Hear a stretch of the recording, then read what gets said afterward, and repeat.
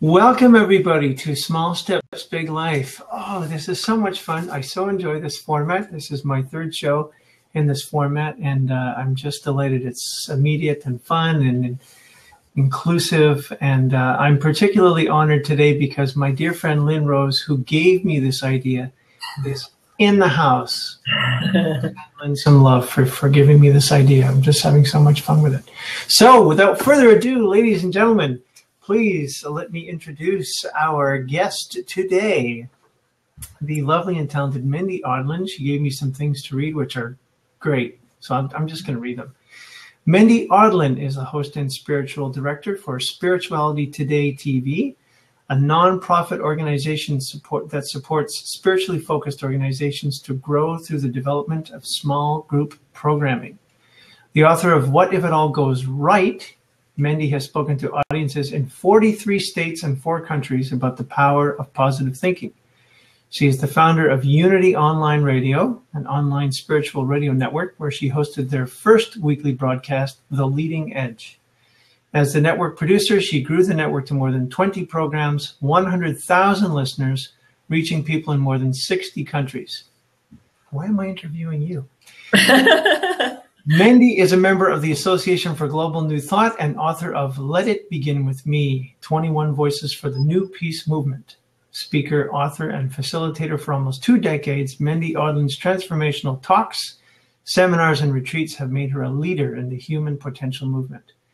Mendhi is a certified passion test facilitator, SQ21 facilitator, and a master practitioner of neurolinguistic programming a highly sought after inspirational speaker, coach, and consultant. Mendhi is passionate about putting faith into action and turning dreams into reality.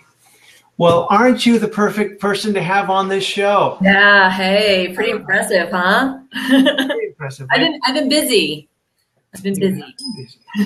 so, for people who are joining us for the first time or who will be watching this at some point in the future, my name is Nathen Aswell. I'm based in Vancouver, Canada. Mendhi is based in Evergreen, Colorado, which is half an hour away from Denver. Yeah, half an hour away, yeah. Up in the mountains. Yeah. Cool. And I had the good fortune of meeting Mendhi at a Unity conference that happened in the Seattle area in September, about a month ago now. Mm-hmm. And was just immediately taken, Mendhi, with your sense of service and uh, your whole presentation on uh, small groups and I've had the good fortune of connecting with you several times since, and I thought, boy, if this show is all about inspiring people with um, uh, the stories of people who are living big lives and got there by taking a series of small steps, you are just a prime candidate. So I just had to have you as part of today. So thank you. Oh, my pleasure. My pleasure. You know, for those who don't know you well, who are just like getting the Nathen experience for the first time, um, at the conference, Nathen was doing music. So, you know, I'm used to seeing you with your, with your bass guitar. What do you, I don't know what you call that. It's like bass guitar. My stick. That, that, yes. incredibly talented. So um, it's fun to, to get to play with you in this forum. And I, I love this idea that you have for, you know, it, it, does start with, with those little steps and just consistently yeah. taking action over time. Yeah. Well, that sounds like a, a great place to start. Why don't we, uh, just take us to you know for me i guess i think of it as there's some sort of a, a, turning point where something happens there's a shift or something happens in your experience that suddenly makes you hungry to move in a certain direction and yeah. you know based on everything that i know of you and everything that i just read i mean this has been inside of you for a long time. And you've been manifesting it in a long time but where did it all where did it all start you know, I think you're right. I think it all does start with like a burning desire, you know, like whatever that might be. It's like that seed that kind of festers until you do something with it. uh-huh. So I, when I was a kid, I, I had a speech impediment. And so I was a really shy kid, introverted kid, and I never spoke up. I never, you know, I probably least likely to be a public speaker if you were to ask my high school class, because I, growing up, you know, when you're a kid, you know, speech impediment, kids will be kids. I don't know. They made fun of me whenever I'd open my mouth. So I would, I would not open my mouth unless I had to. And even when I got my speech impediment taken care of through speech therapy, those kids I grew up with through junior high and high school. So they continued to make fun of me long after the issues resolved. And it wasn't until I got to college when uh, I was away from all of those people, when I had really a chance to recreate myself in a new way, mm. that um, a friend of mine told me about the college radio station they had. And I signed up to uh, to be a disc jockey, which was a little step because it seems like a, it felt like a big step, but really I was in a little room smaller than this one, uh, all by myself with a microphone. So I kind of felt like I was all by myself. Mm-hmm. But it was that little step of giving me a voice and, and putting my voice out there, which was terrifying at the time. Nearly passed out after the first time I turned the microphone on. I was so nervous. Uh, but it was exciting at the same time because there was that seed of desire that you know that's something that's like you know I have a voice and I have an opinion, mm-hmm. uh, and it's it's time to get it out there. So. And was your slot in the middle of the night, or like when were you on? Was it weekly or daily, or? Oh, I was. Um, I, I had a weekly. I started out doing news once a week, mm-hmm. and then I I moved into a six a.m. Um, Thursday morning, six to nine a.m. was my slot. Wow. And I, I, got to turn the radio station on in the morning because college students are usually not up before 6 a.m. And then my second year, I ended up being the operations director. So I ended up actually training the other wow. DJ. So, yeah, once I started talking, I just didn't stop. on and on and on. Wow. So keep going. Okay, so now you know the next year happens, and you're you're basically running the station. Yeah. So you know, I had a lot of um, administrative skills. So it was kind of like natural once I was able to, and, it was, it's interesting. I actually remember the very first time we did a live remote. So, you know, radio stations, they go on site and it's coming to you live from wherever. We were doing a blood drive and it was on campus and they had the big, you know, Red Cross van there. And I remember our station manager was doing all these remotes and he was this huge personality you know, he was like Mr. Born for Radio guy. Uh-huh. And we were standing out there just kind of recruiting people, giving out free stuff. And he said, Hey, next break, Mendhi, do you want to do it? And I said, you know, okay, you know, I'll, I'll try it. I was all nervous, but he handed me the mic. And when I, you know, I was listening to the studio and they were saying, okay, now we're going live. Here's, here's Mendhi, you know, live at the blood drive. And I remember holding the microphone and just saying, hi, I'm Mendhi and I'm here live at the, you know, blood drive. And, and it, like it flowed out of me so naturally wow. that I remember looking at my general manager and he looked at me and he was like, where did that come from? It was, it was like, it was in there. It's like this thing that was wanting to get expressed. And once I had the mic in hand, it came, you know, easily. And of course, since then, I've done a lot of um, training and a lot of you know speaking workshops and Toastmasters, and you know I, have cultivated my craft. Mm-hmm. But you know, that's where it began. Was just you know, hey, this feels really good and really natural. And, wow. That's great. Yes. So, yeah.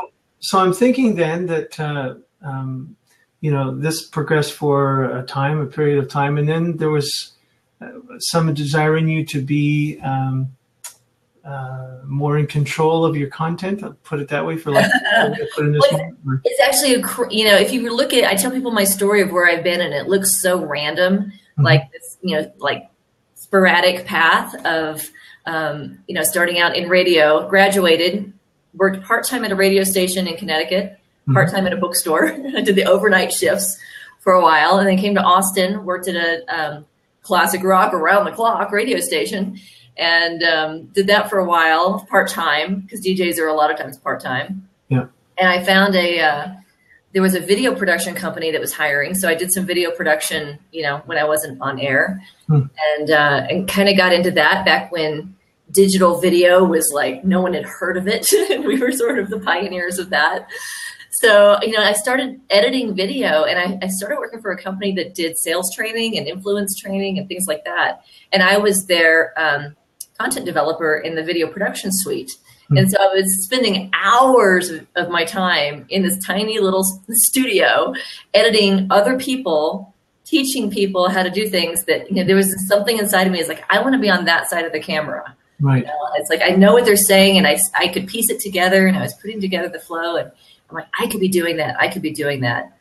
But, you know, it really, it wasn't until I, you know, sort of had a life bottom out, you know, those fantastic dark nights of the soul, Yeah. where um, you know I, I went through a divorce, and in that I had lost my job. I had to sell my house, and like everything flatlined. And um, that's when I started joined a church. That's when I went to therapy. that's when I started uh, learning neurolinguistic programming. Like, how do I train my mind Hmm. so that it's supporting me and doing the things that I want to do?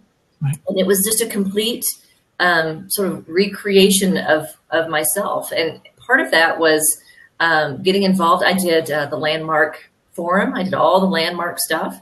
And every single little, st- I mean, it's like little step after little step after little step. Every single one of them would lead me to something new. And it was through Landmark that I was doing, you know, one, I don't know, I did like a bunch of seminars through them. And I was doing one of them where I had to do a project, a leadership project. And I thought, you know, I want to bring inspirational teachings. I was tired of doing the computer training and clicking and all that. Like, I want to do something that's really going to change people's lives. So I decided I was going to do a workshop for high school students. Mhm. And I did, I'd never done anything. like I never worked with high school students in my life, but I found I found a school that was an alternative school that was open to having me come in and do something. And so, um, in planning that, I had someone email me. They said, "You know, hey, there's this great college speaker coming to town. His name, Patrick Holmes, was his name, and said you should check him out because he works with your demographic, so he would be a good role model." Yeah. So I emailed him. He was coming to Austin, where I lived, and I couldn't make the date that he was in Austin, but he was going to College Station, which was not too far from there. And so I emailed him and I said, Hey, I see you're coming. I'm going to come see you. Here's what I'm working on. Is there any way I could talk with you after you do your, your thing? And he invited me out to dinner and was so nice. And he said, You know, if you really want to learn this, you need to work for this company called Learning Forum out of California, and they'll teach you everything you need to know. Wow. They've already hired, you know, so it'd be next year. But I went online and I filled out an application, and sure enough, they had one opening left. And they said, put together a video and we'll interview you. And next thing I know, I'm in this training program that was the most life changing Hmm. program I'd ever been in. Like, really, really intense facilitator training. I learned so much. And then I got to go teach these high school students, 120 high school students, for 10 days with three other facilitators. So there were four facilitators, and uh, you know it was like crash course in being interesting. What was the Students won't be polite. They won't say, "Oh, that was good." If it wasn't good, they'll tell you. uh, what was the age range of the of the high school students? they were um, ninth through twelfth grades. Hmm. So yeah, it was it was the academic skills and life skills program. Super Camp is what it's called, and they still do them all over um, college campuses throughout the country, throughout the world. So I, I got to go to Hong Kong and teach kids. I got to go um, all over the country and and do these amazing programs, and, uh, and I learned so much. It was like all those little steps, and then it led to this huge opportunity for me to to grow as a speaker and to grow in, in what I love to do. And that's what really cemented it that the, this is what's mine to do. Yeah. Yeah. How long ago that moment? Oh, Oh, say, say that again. You froze up for just a second. Oh, sorry. Okay, I didn't I didn't freeze at this end. So, and I think we're getting an echo now, which I think you need to turn your your computer volume down. Sure. There we go. How's that? So, I think probably okay. So, how long ago was that moment where you really felt things got cemented? Well, I, I was in my late twenties, I think, when I really landed on, um, you know, I, I'd done radio. I'd like to talk and speak and that kind of thing, but getting out in front and doing these like life changing transformational programs, um, that was in my late twenties and uh, so much fun. So much fun. So from there, I decided, you know, hey, what am I going to do the rest of the year? Because these camps are only in the summer. So Right. I built a, company doing leadership trainings for college students. And I started hopping around the country, going to different colleges and being there, um, you know, to do leadership training for orientation teams and student government teams and, and things like that. And it was so much fun that, uh, you know, that sort of became my first business. So I, I got my entrepreneurial muscles uh, strengthened while I was uh, out there with the colleges. Uh, I just want to put a pause in here for a second. I just want to acknowledge a couple of people who have joined us, Patrice and You Control TV. Hi. Thanks so much for being a part of our conversation. Uh, I'm in conversation with my friend Mendhi Audlin, who's based in Evergreen, Colorado, and uh, she is a speaker, group facilitator, author, fantastic human being, and that's why she's on the show. And so, uh, in keeping with the name of my show, Small Steps, Big Life, she's just talking about her journey and all the small steps she's taken to the amazing big life she now lives. I just want to acknowledge your daughter, Jenna, who's in the background. Right there. yes. I want to tell her that we can see her. And she's, there she is. She's a good sport. Yeah, She's she a is. good sport. She got herself a cup of hot cider and we're, you know, settled in. Gonna say hi. Um, She's gonna say hi. Hi. Oh, There you go. So this is, this is what a big life is all about, you know, Is all with, about. with all the things on the bio and all the different, you know, credentials. It's like what it all comes down to is, is you know what makes you happy. And um, this is this is number one on my my what makes me happy list right there. Good job. Sure looks like it. So Um, so, uh, so just to kind of uh, uh, go back, just a little more detail about how you started getting the word out when you were saying you were putting the word out to, and started traveling around the country and working with college students and yeah. a lot of cold calls, that difficult process. Well, you know, um, I had some friends, you know, when you start doing something like that, you meet other people doing it. And if you can find people who are like a couple steps ahead, that's always nice. And I had a couple friends who were a couple steps ahead of me and they kind of got me in the loop of, of what to do. In fact, Patrick Holmes, who was the one who first introduced me, um, became uh, a really great resource for me and helped me kind of get my foot in the door as well as some other well-known speakers on the college circuit. And, you know, for the college market, it was a lot of um, showcases. So we'd go to conferences and you do like a little spotlight, you know, 10 minute, almost like a TED talk would be now. Um, And then all the students would come, all the people that would hire speakers would come and they'd, you know, you're basically auditioning and they'd bring you in. So, you know, it's lots of trade shows and, you know, creating all the marketing stuff and, um, you know, spending just about every dime I made in the beginning, putting it back into, you know, making the booth and, you know, creating all the things. So, so how did you feel about all that marketing stuff? Because I know for everybody or a lot of people, that's a really challenging. Oh, I can't do that, or I don't have the money to do that, or I can't do it well, or they just they're so afraid they don't even know how or where to start. Well, and here's what I notice a lot is I'll see people, you know, it's like there's two kinds of people. There's people that will see, I need to have a website and I can't afford one, so I'm stuck. Or Right. I can't afford a website, so I'm going to learn how to make a website. Right. You know, it's like whatever you need to do, you just, you know, roll up your sleeves and you do it. And that's kind of, I think when you get started, you got to have that sort of, well, whatever it takes, that's what I'm going to do. And if I need to learn how to do graphics, then I'm going to learn how to do graphics. And if I need to learn how to um, make a website, you know, I make a pretty good looking website. Not that I want to be spending my time doing that anymore, but, um, but you know, I, I learned what, and I still do. It's like whatever I need to learn, I'm going to learn it so that I can um, serve the people that I'm serving in the best possible way. Right. So it's it's nice when you can outsource that, especially from the beginning. And this is where I love your idea of small steps because when I start something new, I go to every website of people who like I want to be like them. And I look at their websites and I see what they're doing and I'm like, okay, well that would be cool. I'd love to have a video course or a membership site or I'd love to have all these really cool things. And I build this vision in my head. Um, but if you if you're thinking you need to have you know the studio and the crew and the and the whole thing to get started, then it never happens. And most of those people never started with the whole crew and, and the big site and all that. They just started with something small and it grew into that. So, um, and th- that's a place where I have found myself getting either frustrated or stuck is thinking, oh, I'm wanting it to be perfect from the beginning. And it, um, you know, when I can kind of let go of that, so you know what, I'm going to start here. I'm going to start, you know, start where I am with what I have and you know, it's sort of that spiritual idea of loaves and fishes. You know, what have I got? how can I use this? And and it, somehow, by some miracle, it, it always ends up being enough. Right.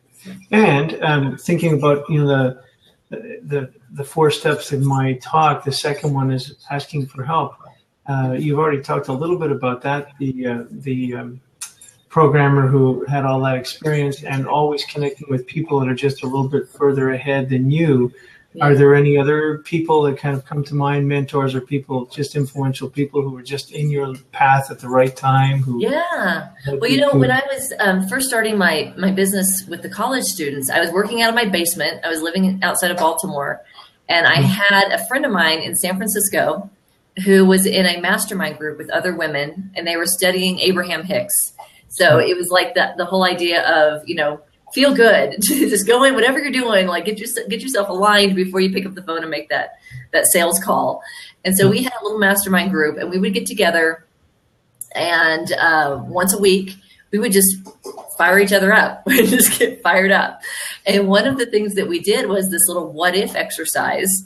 That you know, what if everything goes right, and what if it's easy, and what if it's fun, and and so it was this fun little thing that just got us all excited, you know, just sort of in an excited frenzy for our business. So we could go out there and, and, you know, it's frustrating sometimes when you're trying to start a business. So it's nice to have people that can just help you, you know, look, look at the bright side. So I started taking this little exercise with me into the colleges and I would use it as an energizer. So I'd put them in little groups and I'd have them do these little what if circles um, based on whatever objective they had. And I started getting all these responses from these students telling me of these amazing things that were happening that tied in with that little icebreaker, you know, that little energizer that I was doing. And I kind of just kind of filed that away in my brain until, you know, I don't know, it was probably eight to 10 years later. When was it? When The Secret came out. So maybe it was four or five years later. So this movie, The Secret, came out. And by then I had moved to Wimberley. I was leading a, a church there. And in my community uh, was Joe Vitale, who was one of the stars of The Secret. Right. And so when that movie came out and I was leading the church there in Wimberley, um, Joe said, Hey, I got a, I got this preview copy. We can watch it before anybody else. Would you like to do a, a screening at the church? So I said, yeah. So we pulled up the big, you know, the big screen movie thing. We had this, we packed the house watching this uh, movie, The Secret. And when Joe was there, Joe was going to do a Q&A at the end. And right. when he got there, I think he was a little under the weather or something. And, and he said, hey, will you do this Q&A with me? Just kind of give him some backup. And so I'm like, yeah, absolutely. So we got up there at the end of the movie and did a Q&A on law of attraction and how do you manifest things and had so much fun that mm-hmm. Joe said, hey, let's do a workshop together. So we do this workshop and I'm like, oh, I need to pull out this little what if exercise because this could be mm-hmm. really fun. It lifts your energies. It's all based on Abraham Hicks law of attraction. So I do this little exercise, and and afterwards, Joe was like, you know, that would make a really great book. and so that's you know my book what if it all goes right is is based on that. You know it's a little exercise that started when i was first starting my business and then expanded into um, you know working with college students expanded into a, a q&a and, and next thing you know that's you know that's my book. Great story. Yeah um, my partner Jana Stanfield, who you've met, of course, uh, she and I met someone about a year ago, and they talked about the difference between uh, using affirmations and asking what if questions. Uh-huh. When we use affirmations, the mind very quickly goes to, well, no, that's not true. Because, that's not true.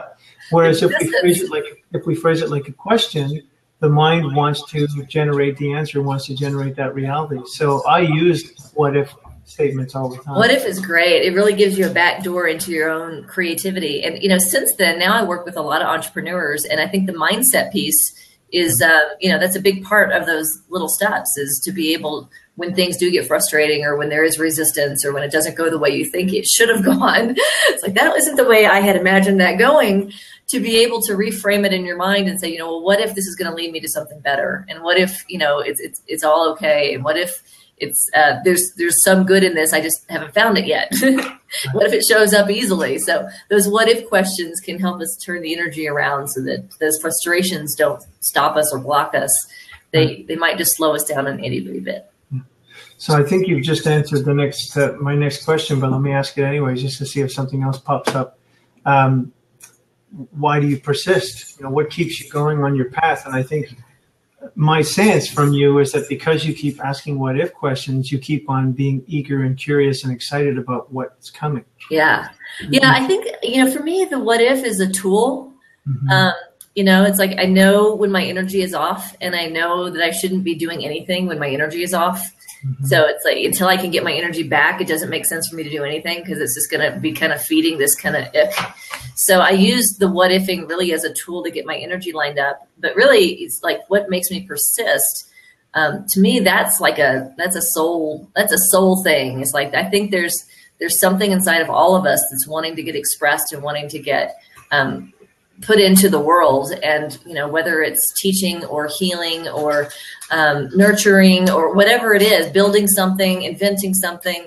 You know we all have that something that I, I, don't know you know call it god call it the divine whatever you want to call it. I think there there if we are in tune enough with ourselves we start to identify those things that really is like when those things are missing we're not complete you know? For me if i'm if i'm not teaching and if i'm not teaching things that are really like changing people's lives i get so bored I, you know it's, it's actually kind of depressing for me when i if i go through periods where i'm not able to use my gifts um, it's it's difficult so um, yeah I, I don't know what that is but I, I think we all have it and it's, and it's more than mindset you know it's it's what's in the the heart space yeah.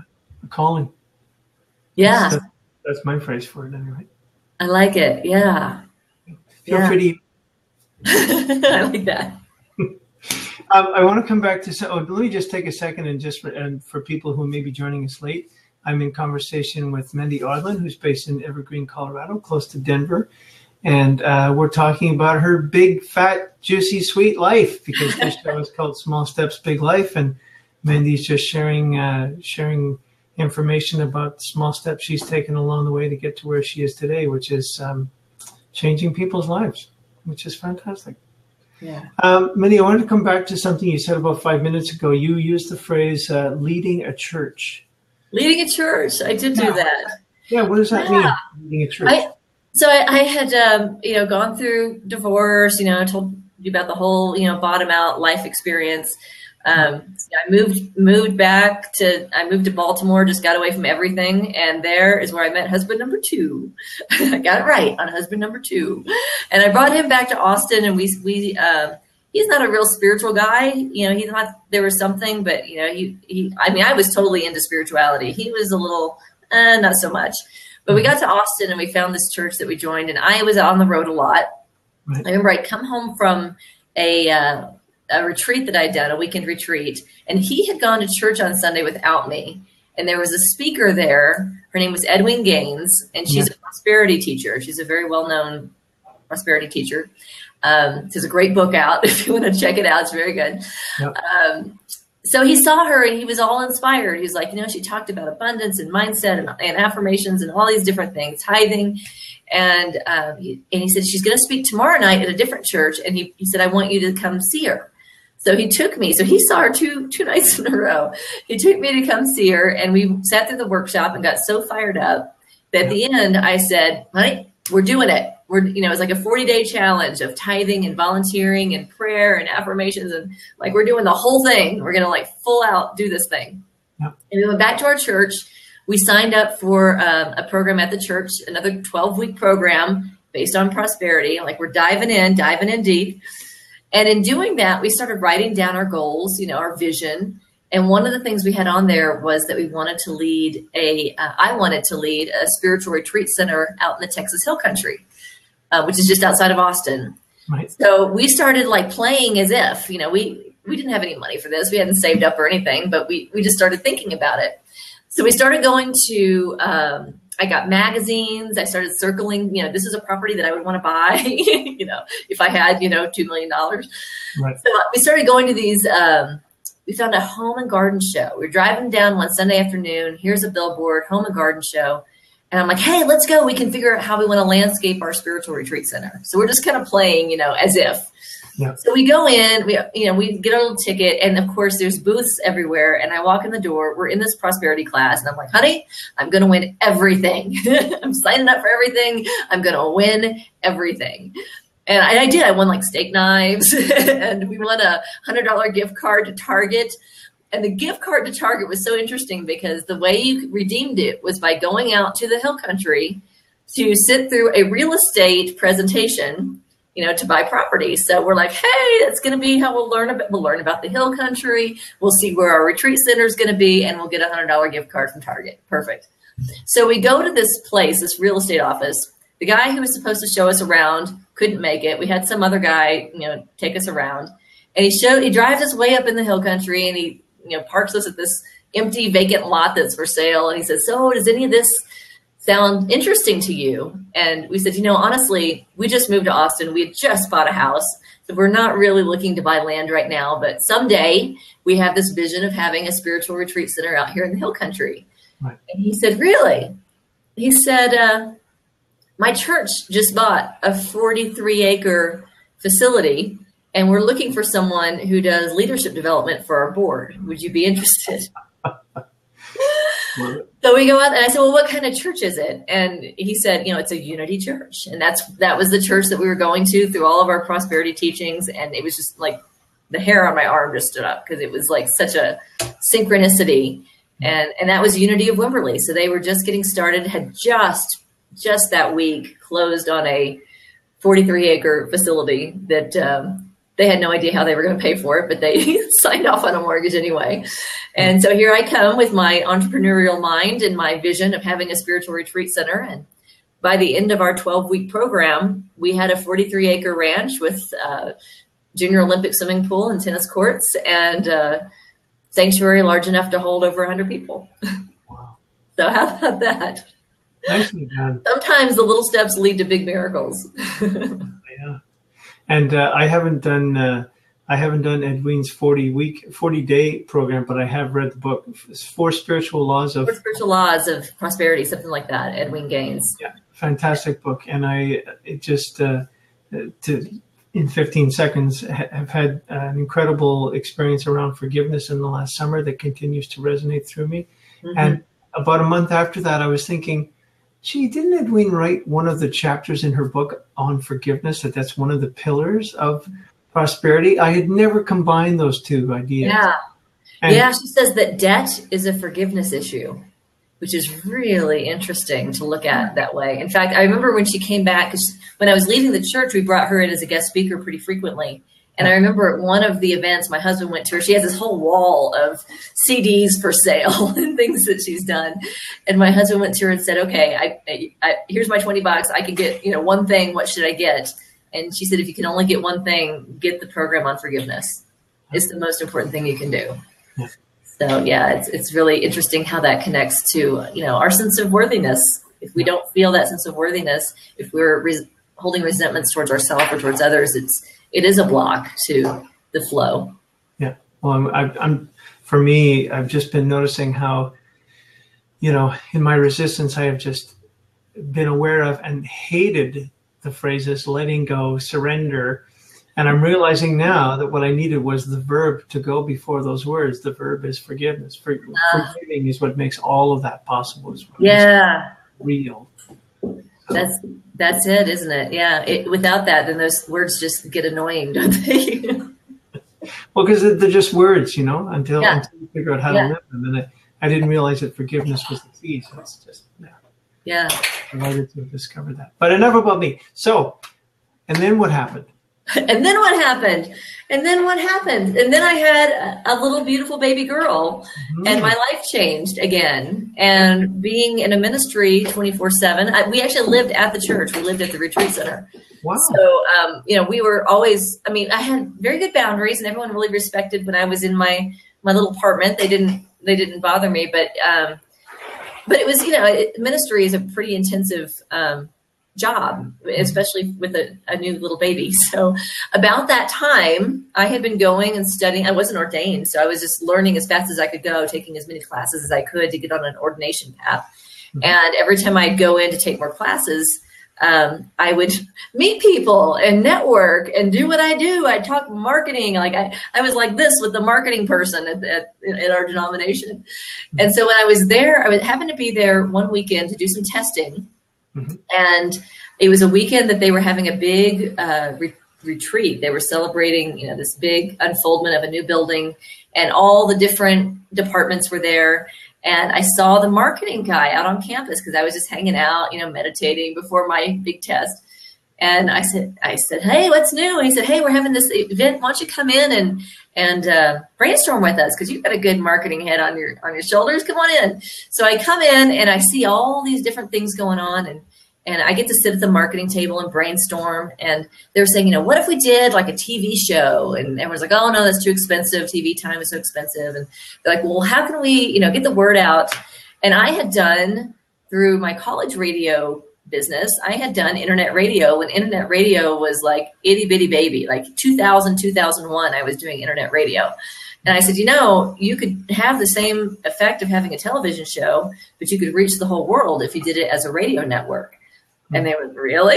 I said, yeah, I said, I've done it before. I can show you how to do it. And so I, I put together a, a, plan for them. And they said, you know, of course, then they're like, well, would you lead this?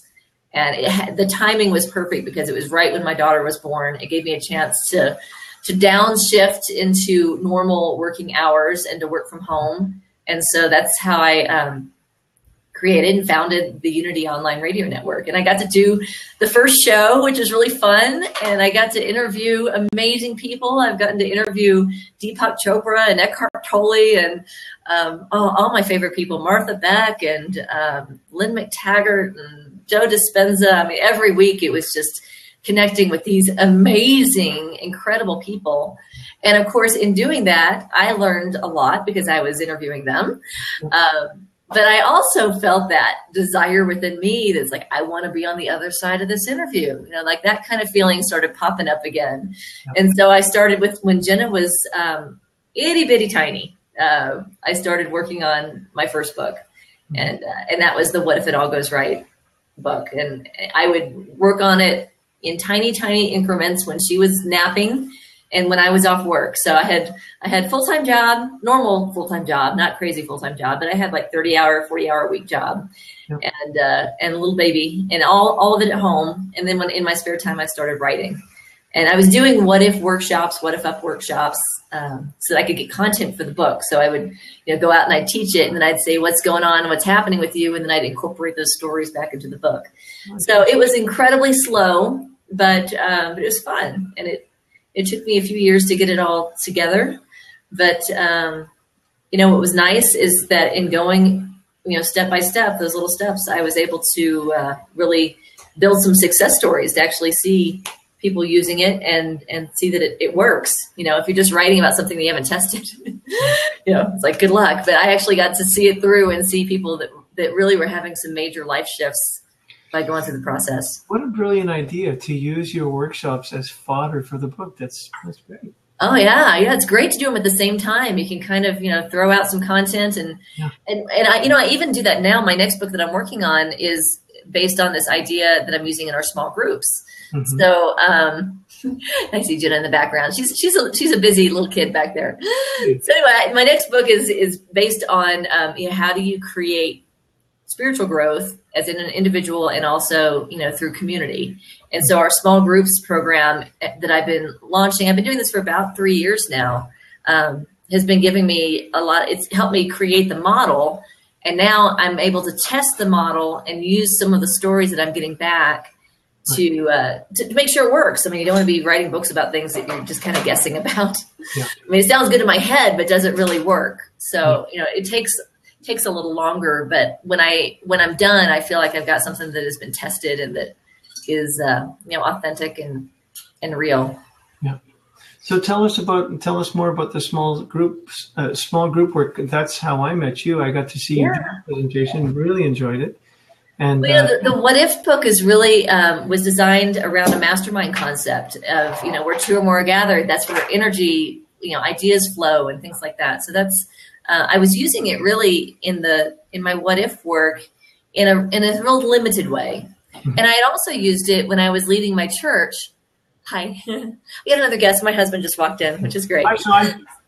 so, so we also used it in my church where, um, you know, when I, I, didn't know how to start a church, so I started studying, you know, who's doing it well, and I started studying these mega churches, and they all had these small groups programs. So I kind of dabbled in it then, Mm-hmm. Um, but after I had done my book tour and was kind of looking at what's next, um, I came back to the small groups thing. And, and I'm like, you know, there's something about this. There's something about how it's structured in these larger churches that is, um, really creating not just growth in terms of big church because you know that's nice it's, it'd be great to have you know 20,000 people coming to my church you know that that's that's cool mm-hmm. but what's even more important is i was seeing that these programs were creating this tremendous um, transformation within people you know these are different denominations like all different denominations were using this program and people were changing their lives were changing and they were um, you know, contributing and doing community service and doing mission work and making this massive impact in the world. And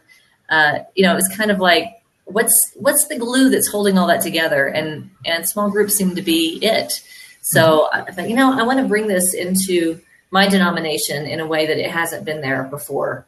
Mm-hmm. And that's what I've been kind of playing with those ideas and rolling it out and testing it um, it's a little more challenging because I'm not just testing it in little groups that I coordinate. I'm testing it with churches, and it's you know it's sort of a leap of faith for them when I'm pioneering something new. But what's nice is I have the track record from the other things that I've done that have made it easier for me to to get this um, up and running.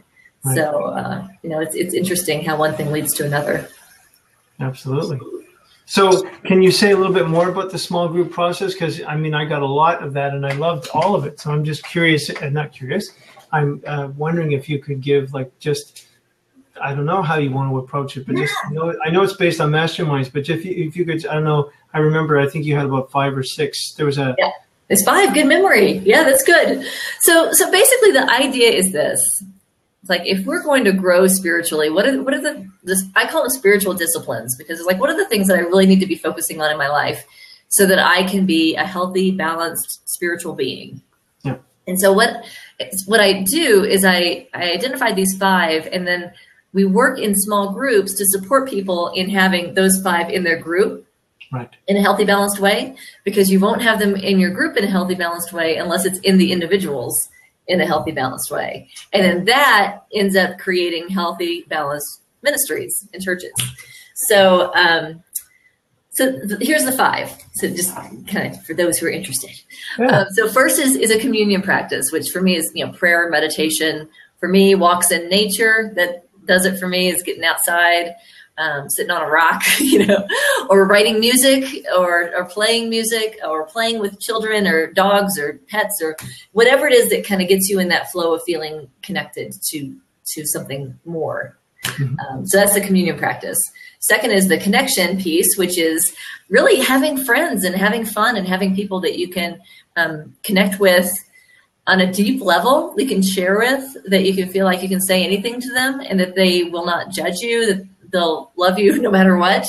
Like so that's there's the communion, the connection.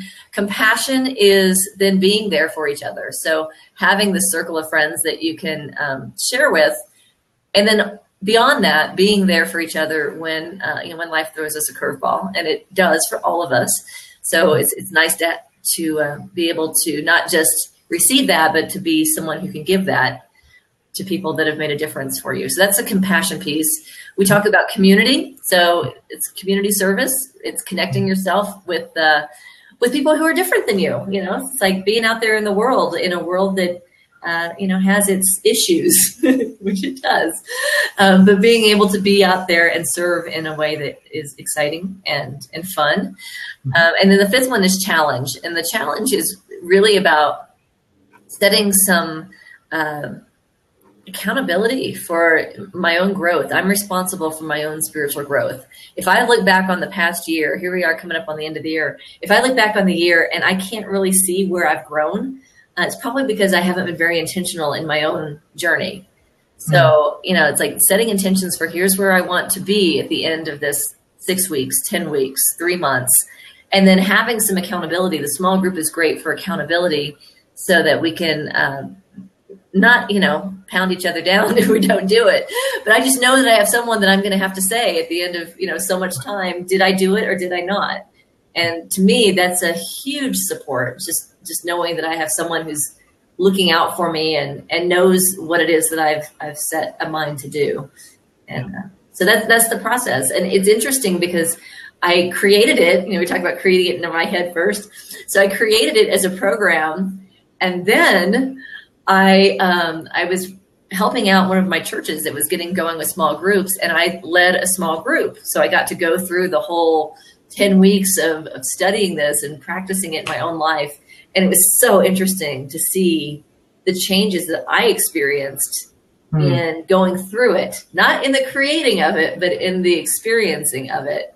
Um, that it, that I can, I can, I can testify. I can say it really does make a difference. It really does yeah. work, you know. So uh, it's been a lot of fun. And now, of course, I'm getting feedback. I was just checking email today. I had a, an email from New Zealand uh, saying that they've been watching the program and they had so much fun with the first video. It took them two weeks to talk about the first video. um, and then I had someone from where was she? Uh, Spain, I think, who was who emailed me. You know, like this is making such a big difference. So I'm, I'm getting feedback from all over. Not to mention the churches here in the United States that are using it. So it's exciting to see that you know the things that that start out here can translate into something that can make a difference for people.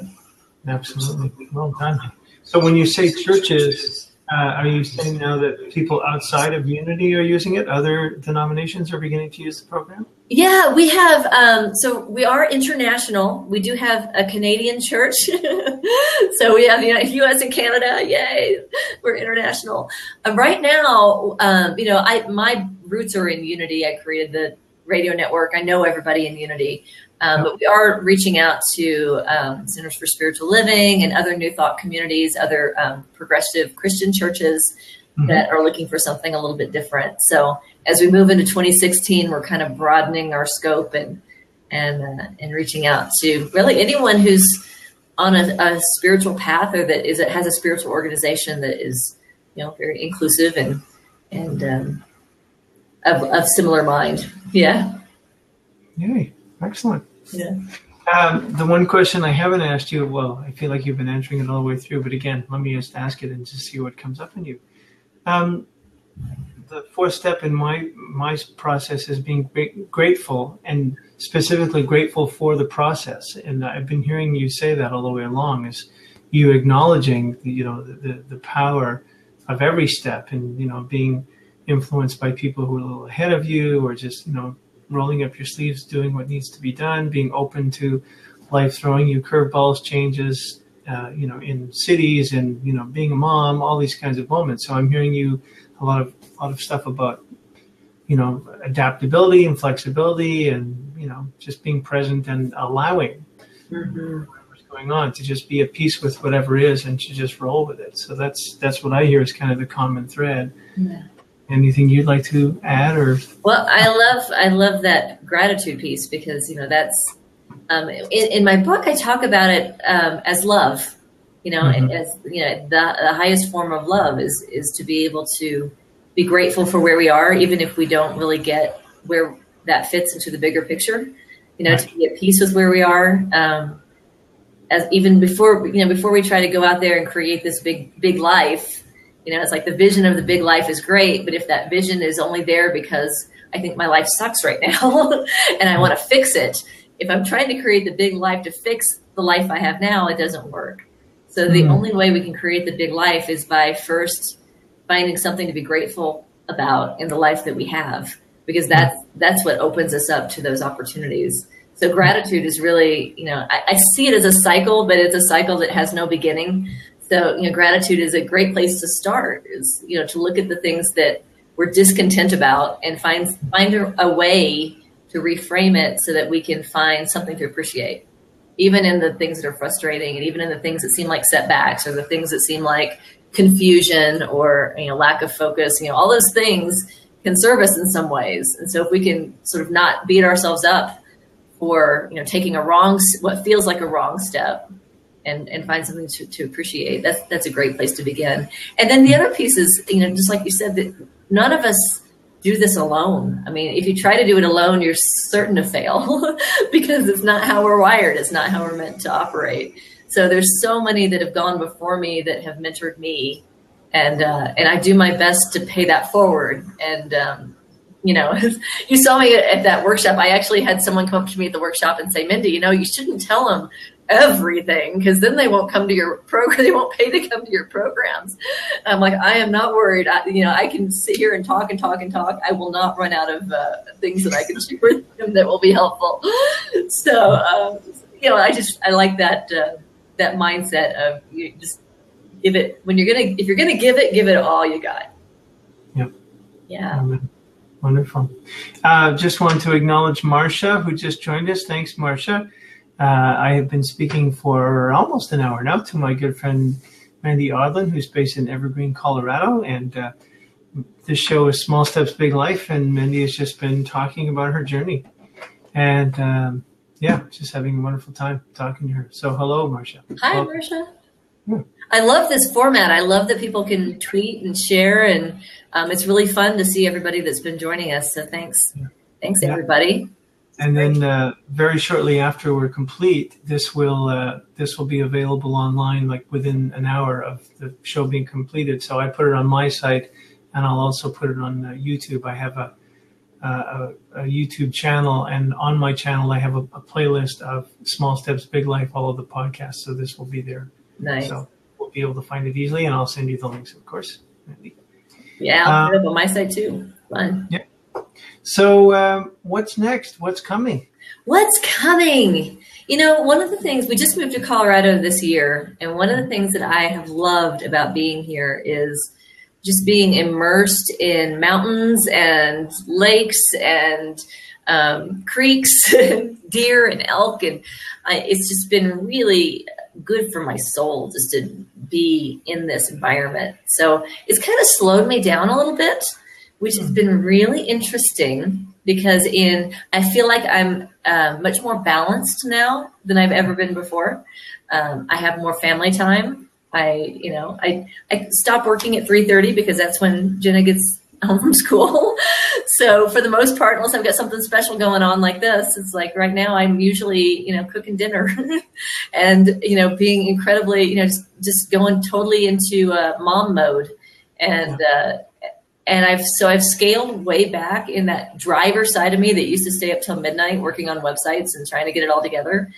And what I found is that I am as productive or if not more, um, when I'm balanced, which is feels totally counterproductive. It feels like I need, you know, if, surely if I'm working more hours, I would be getting more done.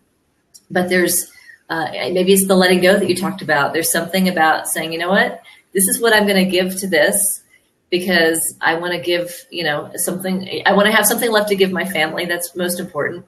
I'm also getting uh, much better at um, taking time for myself. So, you know, doing some yoga in the morning and taking a walk. I'm here at Evergreen. We have a beautiful lake. You know, so it's like a mile and a half walk. So I take a little walk in the morning around the lake before I come into the office. And I'm doing more things for myself than I've done before.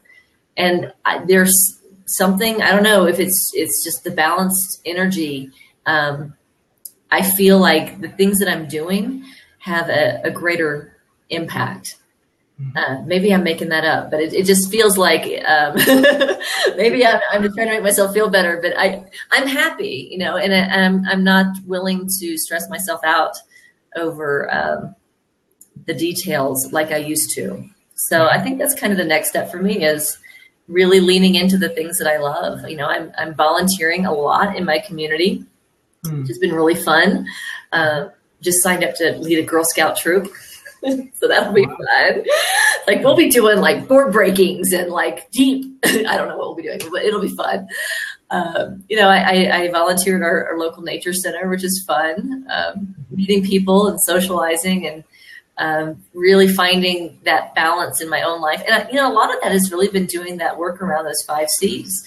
Is you know creating that time for community service, creating that time for communion, for you know filling myself up and and having social time and time with friends that um, that's been a big shift for me and it's it's actually creating more power i think when i speak um, because i'm not spread so thin so it's good uh, i'm curious to see how you would answer this question and I, and I you've you've partially answered it in terms of evergreen being the the wonderful nature uh, sanctuary probably isn't the right word, but just anyway, just how how integral nature is to where you currently are. Mm-hmm. But kind of looking at it one step back, uh, do you think that, that there's a I don't quite know how to phrase the question. I'll say it this way: difference in the energy between Austin and Denver slash Evergreen. Is there something about that that's kind of adding to where you now are that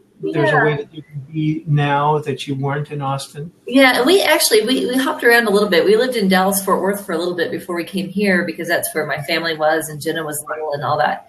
So um, we came from the Dallas Fort Worth area, which is a huge metropolitan area. Um, and we really liked it. I mean, there's a lot of really good things about that. You know, I think there, what, what it makes me feel like being here, I feel like, you know, when you have a potted plant that's like been in the shade for a while and it's just not doing anything and you move it and then all of a sudden this thing sort of comes to life i feel like that's kind of happened for us for for my whole family for my husband for my daughter like just being in this environment has really kind of i don't know it, it's it's putting us in the right environment it's really made me think about you know what is the environment that we mm-hmm. need to be able to grow and i know it, this isn't for everybody i mean we're in a little town we're secluded. We're surrounded by trees. There will be some who are as invigorated by the city as I am by the trees. But I think the question to ask is, that's important is, you know, what is the environment in which I can best thrive? And you know, I thought I need to be in a big city because that's where the opportunity is. That's where the speaking engagements are. And I had all these reasons why I should, you know, Dallas Fort Worth should have worked out really well for me but it didn't. It, it felt like struggle. And I got here completely removed from, you know, most large speaking opportunities. And my speaking calendar is fuller than it's been in a very long time.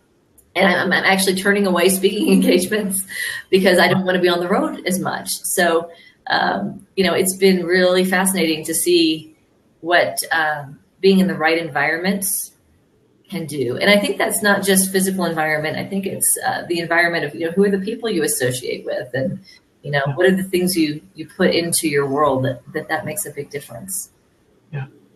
Yeah, beautiful. It's it's wonderful to hear you speak uh, with such peace and clarity about not only the impact of uh, where you are, but the impact of work life balance really being balanced. Yeah impact, the, the, the, the uh, seeming contradiction that the more space you allow for quality of life, the more productive you are. It's interesting. Programming, yeah. Mm-hmm. Yeah, yeah. So yeah. I'm getting there. Still working oh. on that. Still working on giving myself some time, but I've been doing, I've done really well this week. Like it's a day by day, but I've done really yeah. well this week. well, excellent. I'm glad, glad I caught you on a good week. I had a good day. You did.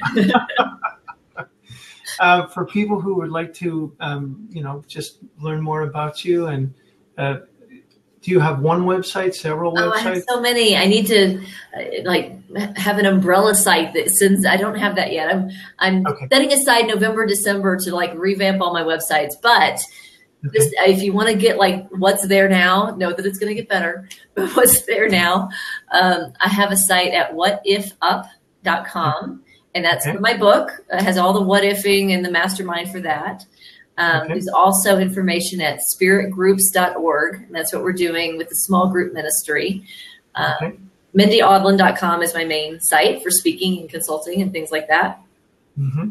And um, oh, can I tell you my little secret? This is kind of a secret that I haven't told anybody. I promise I won't tell the soul. Don't tell anybody, okay? This right. just for us. So I just started a new little blog called um, Nature. Is it Nature Church? And what I've been blogging, so I mean, I just started this, but what I've the reason I created this blog is because every Sunday after I go to church, um, you know, my husband usually goes mountain biking or fishing or something. That's his church. Is he he goes out and does something, and then we meet up afterwards for a picnic and a hike and and that kind of thing. And I started thinking, you know, our our picnics and our hikes are starting to feel as much or more like church than being in the building for me. So I look forward to those outdoor experiences and they're like sacred time for us as a family. So I, I put together this little blog that I'm just doing my first email actually this week. So, you know, you asked me for websites, I, I got to throw it out there, um, where I'm sending out Sunday emails for people that want to either after church or instead of church for people that don't do church. Um, it gives you a little, uh, you know, thought for the day. I have a, um, a photo challenge that people can tweet about. And I also have a kids activity. So if you have families, you can do something with the kids. And, uh, and that's like fun. So I, am just having so much fun with it that I'm, I, I can't stop myself. Good. So well, what I'd like, uh, what I'd like, Mendhi, is if you could just send me those. Say, I'm like I said, this will be available online within the hour. So if you could, when, when we're done, just send me an email with the links to the sites that you want people to be able to connect you awesome. uh, to connect to you, and I'll include those with the link for the for the video, so all that information is in the same place. Cool, thank you. That'd be great. Looks forward to staying connected. Yeah, absolutely. So. Um, Ladies and gentlemen, thank you for spending the last hour with us. Uh, my name is Nathen Aswell. I'm based in Vancouver, BC, Canada.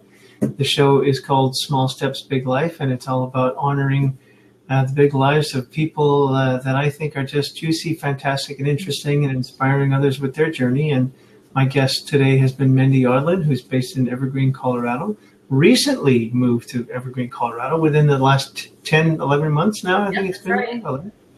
And um, thriving on many levels, and she has much to offer. She's a teacher and coach and speaker, and uh, you know, basically a holy woman. So, if uh, you would like to be in touch with her, the information to reach Mendhi, several websites I will put, uh, I will include in the link for this uh, the show, which will be available on my YouTube channel under Small Steps Big Life, and will also be available under the uh, video page on my website, nathenaswell.com. Mendhi, you're a sweetheart. I just I celebrate you, and I'm I appreciate you making the time today. And uh, please uh, thank Sean and and Jenny or Jenna. Jenna, Jenna. Jenna. I, I appreciate. Uh, please tell them how much I appreciate you carving out an hour to be with us. And well, thank you. I'm so excited to uh, get to be here as you're kicking off things. Yeah, I love to be there in the beginning when the yeah. seed is, is is just sprouting, and, and I see great things for this. And I love that you're putting this out there for the world. And um, thanks so much for including me. It's great to be. My, my great pleasure. And I look forward to uh, to seeing you. Well, yeah, it we it now seems that we'll next meet up in Dallas when you are. Uh, doing the music for, uh, sorry, not doing the music, when you are leading some of the services around Christmas time, Jana and I will be there as well. And I look forward to dancing with you, co-creating that way with you. It's going to be fun. Absolutely. Okay. See you soon, Mendhi. Thank you. Thank you, Nathen. Thanks, everybody. Glad you could join us. Thanks for watching, everyone, and uh, hope to see you again uh, next week. Next show, will uh, I'll be doing a couple of shows next week from San Diego uh, leading up to the San Diego Conscious Music Festival. So I hope you can join me for those. I will post notices on my Facebook page and Twitter and LinkedIn to let you know when those will be. Okay, love and blessings, everyone. Blessings. Bye bye.